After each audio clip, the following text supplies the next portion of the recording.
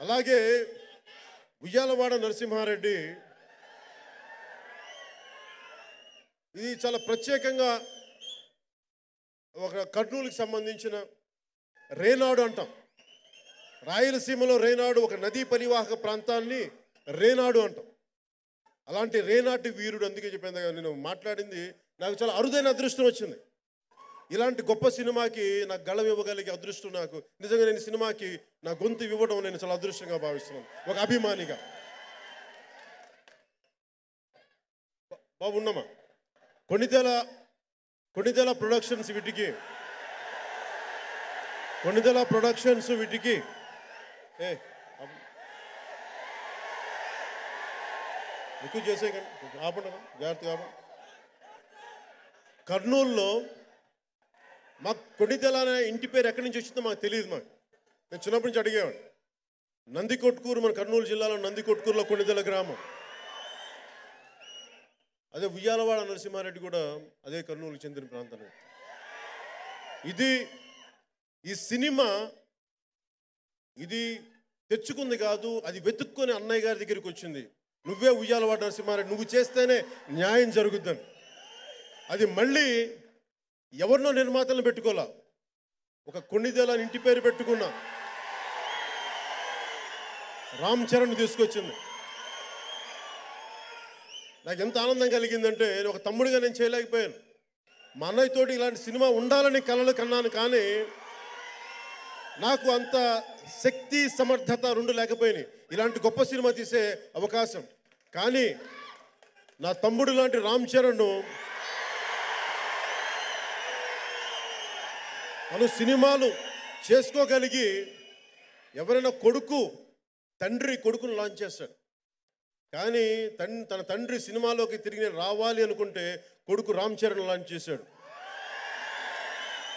నూట యాభై మళ్ళీ అదే దేశమంతా మాట్లాడుకోగలిగే చరిత్ర మరిచిపోయిన వీరుడు ఉయ్యాలవాడ నరసింహారెడ్డి జీవిత చరిత్రని ఎంతోమంది ఎన్నోసార్లు దశాబ్దాలుగా వింటున్నాను నేను ఈ మాట. చిత్ర పరిశ్రమ హైదరాబాద్ మద్రాసులో ఉన్నప్పటి నుంచి వింటున్నామని కానీ ఎవరికి ధైర్యం చెప్పి ఒక రామ్ చరణ్కి ధైర్యం వచ్చింది. ఇలాంటి సినిమా తీస్తే అది చిరంజీవి గారే చేయాలి ఆ పాత్ర. సినిమా ఇలాంటి సినిమా తీస్తే రామ్ చరణ్ తీయాలి. అందుకనే ఆ సినిమా ఎన్ని వందల కోట్లైనా వాళ్ళు దానివల్ల డబ్బులు వస్తాయి లేదా లేకుంటే ఒక అద్భుతమైన మంచి బలమైన సినిమా తీయాలి. మన తెలుగు రక్తంలో ఉన్నది అది. మన అందరిలో ఉన్నది.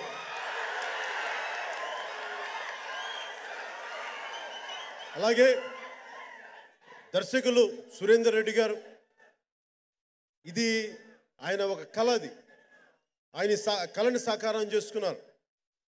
ఆయన గతంలో చేసిన సినిమాలు కానీ ఇవన్నీ నాకు చాలా నచ్చిన సినిమాలు. అలాంటి వ్యక్తి దర్శకత్వంలో రామ్ చరణ్ నిర్మాతగా మనందరి అభిమాన పాత్రుడైన మెగాస్టార్ చిరంజీవి గారు హీరోగా ఇలాంటి చక్కటి చిత్రం. ఇది నేను కోరుకుంటుంది ఇందాక నేను చాలా ట్వీట్స్ను చాలా ఫేస్బుక్లో పెట్టాను. ఏంటి మర్చిపోయినంటే మన దేశం చరిత్ర ఎవరో రాసిందో మాట్లాడతాం మనం. ఒక ఆఫ్రికన్ సామెత ఉందండి అందులో వీడియోలో ఒక ఆయన చెప్తా ఉన్నాడు. వేటగాడు చెప్తాడంటే చరిత్ర అంటే ఒక సింహాన్ని వేటాడితే సింహం తన కథ చెప్పుకోలేదు. వేటగాడు వేటగాడు తను చెప్తాడు తను ఎలా చంపాడు వేటనని.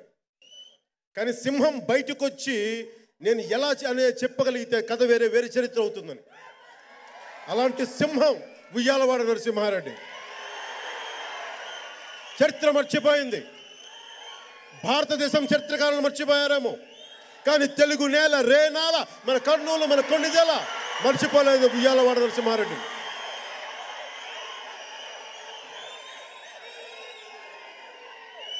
అలాంటి గొప్ప నేలలో పుట్టిన వీరుడి చరిత్రని చాలా సగర్వంగా భారతదేశానికి సిపాయి మ్యూటినీ కంటే ముందు పది సంవత్సరాల కంటే ముందు ఇలాంటి గొప్ప వీరుడు అలాంటి వా- గొప్ప నాయకుడి చరిత్ర ఈ రోజున మనకి చాలా స్ఫూర్తిదాయకమే కదా. ఈ దేశం కోసం ఎంతమంది చనిపోయారు? అజ్ఞాత వీరులు. అలాంటి చరిత్ర గుర్తించిన ఒక అజ్ఞాత వీరుడు ఉయ్యాలవాడ నరసింహారెడ్డి. అలాంటి వ్యక్తి చరిత్రని ఈ రోజున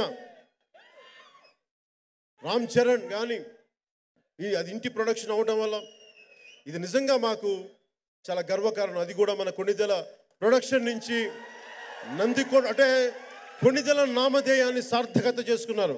ఎక్కడో ఆ గ్రామం పేరు ఇంటికి వచ్చేది మేము అదృష్టంగా భావిస్తున్నాం. ఇలాంటి గొప్ప సినిమాకి నాకు దీంట్లో ఏదో ఒక చిన్నపాటి నేను యాక్ట్ చేయలేకపోయాను. కానీ గొంతు సైరా నరసింహారెడ్డి అని అనగలిగానంటే నా గుండె లోతులో నుంచి ఒక అభిమాని నుంచి వచ్చిన పిలుపు. అన్నా నువ్వు బద్దలు కొట్టగలవు. అన్నా నువ్వు చరిత్ర తిరగరాయగలవు. అన్నా మేము మీకు బానిసలు నీకు దాసోహం. అందుకు నేను నడిచానమ్మా. చరిత్ర మర్చిపోయినా కానీ తిరిగి చి- వీరుణ్ణి వెలికి తీసిన అన్నయ్య చిరంజీవి గారికి కథా రచయితలకి దర్శకులు సురేందర్ రెడ్డి గారికి నిర్మాత రామ్ చరణ్ గారికి పూజ్యనీయులైన నా తల్లి తర్వాత తల్లి లాంటి మా వదిన గారికి మనస్ఫూర్తిగా చిత్రంలో నటించిన నటీనటులందరికీ అలాగే ప్రత్యేకంగా అమితాబ్ బచ్చన్ గారికి మనస్ఫూర్తిగా ధన్యవాదాలు తెలియజేసుకుంటున్నాను. సో మీ అందరికీ ఇంత అపూర్వమైన అవకాశం ఇచ్చిన మీ అందరికీ పేరు పేరున ధన్యవాదాలు తెలుపుకుంటూ సైరా నరసింహారెడ్డి. జాహింద్